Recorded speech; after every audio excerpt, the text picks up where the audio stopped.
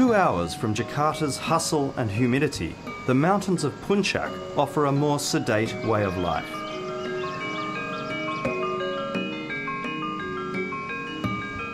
Since colonial times, Jakarta's elite have travelled here for a relaxing getaway. But I've come looking for a very different type of visitor. Puncak is now home to hundreds of refugees and asylum seekers waiting for their chance to come to Australia. Some have already tried.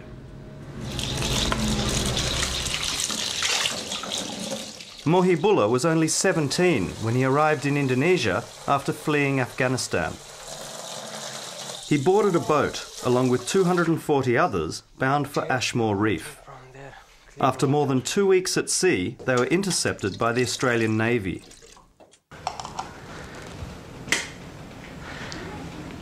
What was the feeling on the boat when you saw the Navy we ship? was so happy. We thinking we we get the life yeah? We get the life.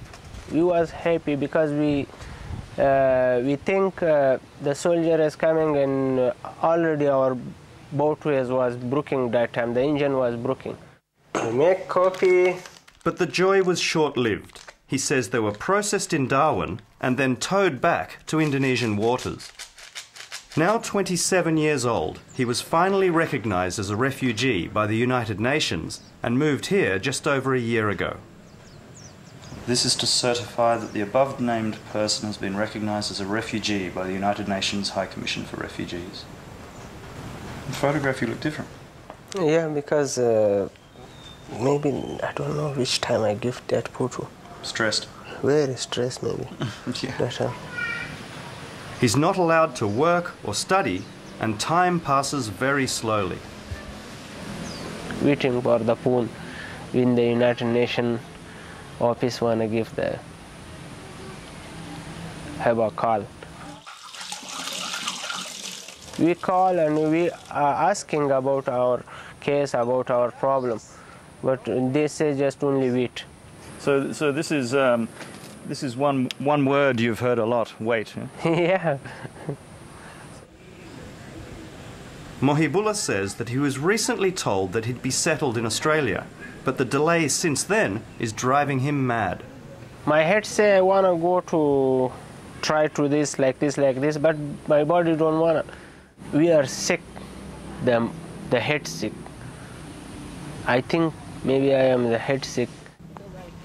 While Mohibullah and other registered refugees wait patiently, since last year, everyone here has noticed many new arrivals Afghans, Iraqis, and now Tamils from Sri Lanka. He says some of them don't stay long. I say see some people, but after after 20 day, after one month, I cannot see the dead people. I think maybe they go to by the boat or.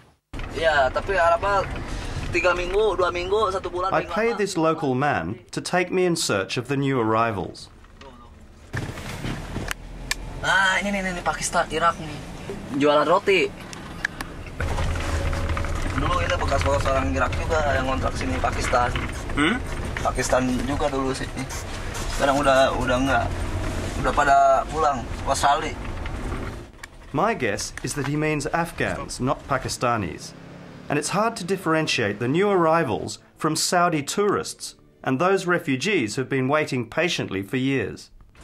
Jadi di di mana-mana ya? Iya, di mana-mana dia pada ngumpat, Sering pindah-pindah. pindah-pindah, dia cari kontrakan rumah kampung yang murah kan. Hmm. Tapi memang sejak eh, ini bulan-bulan terakhir ini banyak yang datang. Iya, banyak yang datang. Yang, Banyak yang baru. Iya, dan ganti yang baru. Yang lama pulang ke Australia.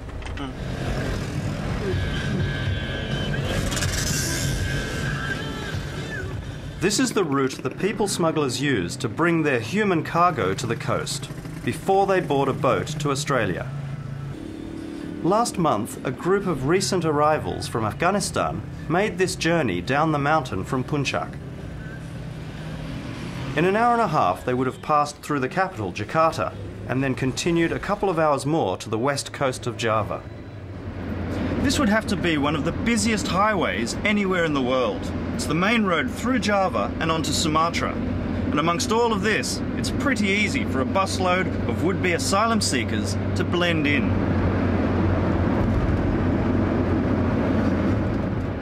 Turning off the highway towards the coastal resort town of Anyer would not have raised any eyebrows either. It's a popular spot for holidaymakers. They probably wouldn't have stopped to take a look at Anak Krakatau volcano, which has been erupting lately. Kacanya dibuka aja. Dengan Trimurti kanan ambil. Eventually arriving in Anyer, they turned into the Villa Trimurti. The district police chief has brought me here to help piece it all together. Kosasi says police throughout this region had been keeping an eye out for asylum seekers for the previous two weeks, following a tip off from the Australian Federal Police. It was a call from suspicious staff at the Villa Trimurti that led to the arrest of the 70 Afghans on April 17th. mereka datang lewat pintu sini dan mereka berkumpul di sini. They were shown to their rooms and then the staff helped them organise the bedding, five to six people per room. Jadi ini tempat mereka eh, gelar tikar. Jadi pakai tikar, tidur di sini juga sama karena nggak muat posisi di kamar. But by the following day, staff had become suspicious of the holidaymakers who didn't seem to kick back and relax. Kalau tamu dari yang lain ini bisa dibuka. Ya, karena itu pemandangan ya. Iya. Pemandangan. Iya, lihat pemandangan, tapi mereka nggak buka. Selalu tertutup. Jadi pemandangan ini nggak tertarik sama mereka. Mereka mungkin tertarik, tapi mereka nggak mau lihat. Gitu.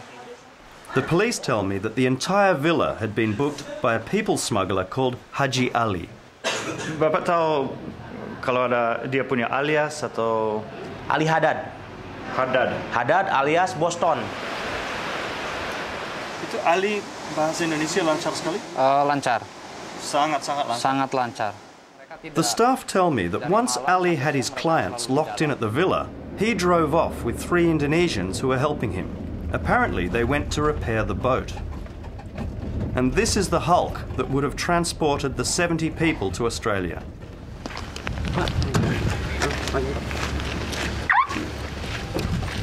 Like most of the fishing boats that smugglers buy for the voyage, the Mutiara 3 is barely seaworthy. At the dry dock, security guard Chiafwi was told the boat was heading for Sumatra, but started leaking and had to turn back for some quick repairs. Udah sempat ditambal tuh Mister. Sempat disumat dia. Hmm. The crack went all along the length of the hull, and the boat will now be used as evidence by the Indonesian police. Although, after all these years, people smuggling is still not a crime in Indonesia. While I'm filming, the Australian Federal Police arrive. She's just walked behind. She's just walked behind the car. Their people smuggling disruption activities in Indonesia are shrouded in secrecy, so they wouldn't have been happy to see me here. As dusk falls, I leave them to do their work, photographing the mutiara for their files.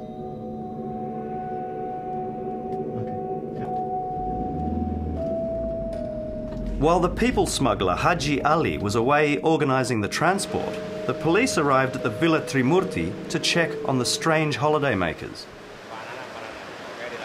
Eh, jadi mereka begitu melihat patroli, mobil patroli di depan gerbang, mereka takut.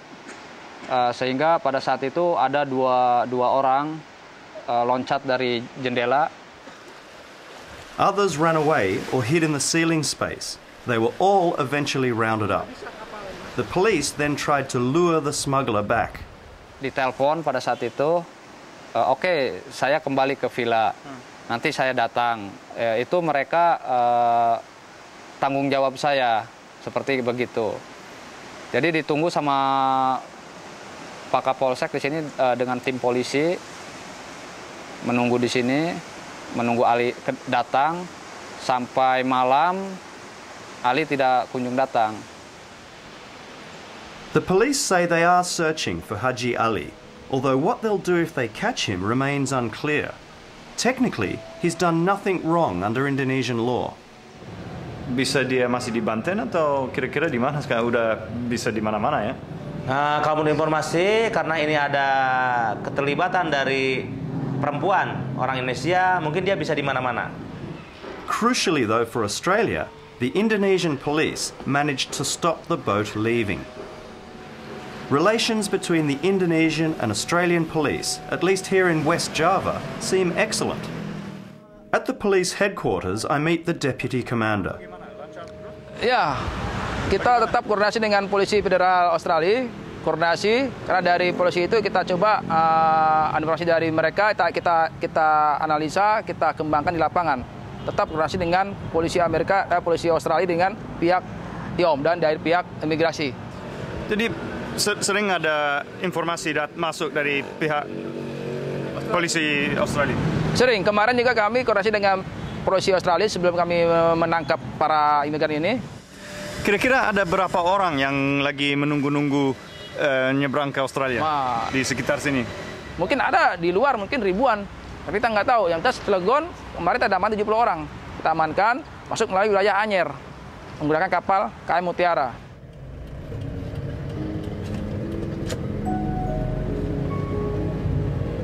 This is central Jakarta. Like Puncak, it's another place that asylum seekers congregate. The area used to be full of Western backpackers. Now it's mostly Iraqis and Afghans. They meet up at McDonald's and stay in cheap hotels and boarding houses around here. Late one night, I meet a young man from Ghazni, Afghanistan, who calls himself Habib. He's been in Jakarta for just one month. He doesn't want to be filmed, so I pick him up and we go for a drive. He fears his people smuggler has stolen all his money and disappeared. Doesn't sound good. Ah, When was this? The first day? yeah, the first day when we come to here. Habib is now stuck in this sprawling metropolis. He wants to find the smuggler, but he doesn't know how. So how, how much money did he take from you? Around six thousand six uh, six thousand dollar. So he, he you paid six thousand dollars for what? To get to where? To Indonesia, or was that No, no. to get to Just try Australia? give him maybe to another country. to Australia? Yes, maybe Australia. Yeah, And he promised he could do that. yeah.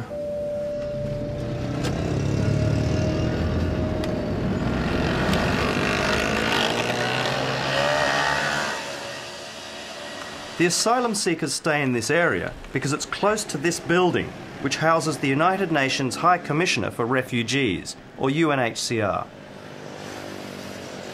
I wanted to talk to them, but the issue is so sensitive they refer me to their Canberra office. Regional Representative Richard Towle would not answer questions about specific people. He did say, however, that 80 of the 600 cases they have in Indonesia have been confirmed for resettlement since last year. Australia agreed to take 35 of those. Uh, Canada about 22, and I think New Zealand around the same number. So, uh, and a very small number went to went to Europe. I mean, globally, just to put this uh, globally, we've got about 500,000 people who need resettlement outcomes because they can't stay where they are in refugee camps, and roughly 100,000 places a year. So there is a uh, major deficit, and this in, in some ways explains the level of frustration and some reasons why people decide to keep moving because they're not able to find solutions locally. Despite boats continuing to arrive in Australia, relations with Indonesia are the best they've been in years. Kevin Rudd and Susilo Bambang Yudhoyono have even agreed on an important extradition exchange.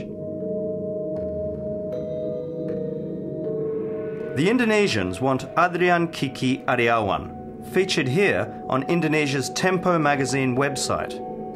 He's a corrupt Jakarta banker who embezzled hundreds of millions of dollars and is currently detained in Perth. The Australians want Hadi Ahmadi, a dual Iraqi Iranian, for people smuggling offences allegedly committed between 1999 and 2001. He'll be the first alleged smuggler ever extradited to Australia from Indonesia. In the meantime, Ahmadi has been sitting in police detention for 10 months without charge. Uh, this is extradition case. Whether he, he, he should be extradited or not. His lawyer, Joel Tanos, says it's an outrageous miscarriage of justice, all in the name of improving bilateral relations. I'll give uh, the phone to him, all right? Okay. Okay. Hello, Hadi, how are you? As I was talking with him, and before I knew what was happening, he had Ahmadi on the line from his prison cell. They said that I uh, did smuggling people on, on 2000 and 2001. So how they can meet me on 2003? I never can do that thing. They just like, mm, they're just killing me. So, So I, I'm 10 months already for nothing here. Why would the Australian government waste so much time and energy chasing you if you didn't do something to help facilitate the people smuggling trade? I'm also not sure because uh, uh, last year, because I was here on 2007 in the immigration office, the police federal came to me. He offered me some work. He asked me to do something.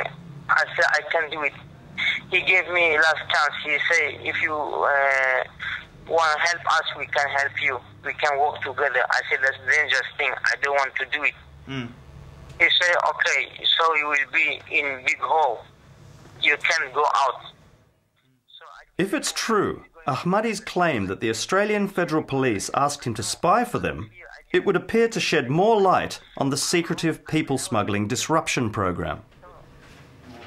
I would like to give you, I'll show you a letter from is an AFP police officer who came to see Hadi, who approached Hadi for quote and unquote cooperation, offering him a job actually. Yeah. In return for the job, Hadi Ahmadi would get, according to him, citizenship, money, and other enjoyments. Hadi, you have the chance to change your life. If you don't take it, I wish you luck in future. Regards. What did Hadi Ahmadi tell you the Australian Federal Police offered him? I don't know uh, what AF he wanted to, to know or to get from him, but that was an offer, offering citizenship, offering money, offering uh, yeah, that job. So giving him um, uh, enjoyment, life enjoyment. Yeah, I think. In return, Hadi Ahmadi had to work for, for them. In return, Hadi Ahmadi had to inform them everything. But About the activities of other about the uh, people activities of smugglers. smugglers. And Hadi Ahmadi rejected this. Yeah, he said no because I didn't want to betray Indonesia. Uh, I don't know what is going on. So someone is looking uh, for some uh, point. They are just using me. A lot of people are working now, many, many smugglers, really smugglers, they are working now. They are sending uh, ship to Australia always. They are sending, every month they are sending. Nobody touch them. They are free in Jakarta, you know. Many smuggler people are free in Jakarta now. They are working. Nobody touch them. Even the police uh, arrest them. They pay money and got free. Why do you think uh, nobody is, is getting them and they're concentrating on you? Because they have money, they can pay. When they arrest me, I have nothing. I, I don't have money. I have nothing to uh, uh, support myself. This document, obtained by Dateline from the South Jakarta court, outlines the public prosecutor's case for the extradition of Hadi Ahmadi. According to the document, he has nine aliases. Ahmadi's lawyer says he has no aliases and he'll fight his client's detention and extradition. Say uh, Australia has the law, people smuggling law, so that means it is a crime. Indonesia has no that law. In fact, Indonesia doesn't have that law. The extradition cannot happen. So Hadi Ahmadi cannot be extradited. No, should not be extradited because we don't have that law. Only one country has. Yeah. So if uh, they do send, it's against the law. So, so you're saying that the president uh, would be breaking his own laws by That's agreeing right. to this extradition? That's right. That's right. So, if you had the chance, if you had the opportunity to speak to the Australian Prime Minister, Kevin Rudd, what would you say to him? I just, I just want to tell him that uh, please, you do your best to uh, get success on your online on in, on uh, job, but please don't use me. But, uh, I'm a very small person. I'm nothing. But he calls people smugglers the scum of the earth. So he, you, you have a bit of a problem with him at the moment. I'm sure that he has uh, wrong information about me. They just make me big, but I'm nothing. They just make me big. Yeah, please, please, please. I need. I beg everyone who can help me, Mr. Prime Minister or Mr. Ambassador here. I'm tired from this condition. Maybe just a few months, I will kill myself also. I don't know what's what's going on with me. I'm really tired, really tired. Did you? You didn't say you will kill yourself, did you? Sometimes I will do it. No, no, you don't do that. You, I'm really tired. no, you, you have to. Uh, you have to. Um, you know, wait, wait for the opportunity to explain your situation. I mean, you don't want to be talking about suicide. Forget all that. I'm really in bad condition. Very difficult situation I'm living now. Back in Puncak, Mohibullah too is hoping his difficult situation will soon come to an end. If, as he says, the authorities have decided on his case, then sometime in the future he will be coming to Australia, but not in a leaky boat.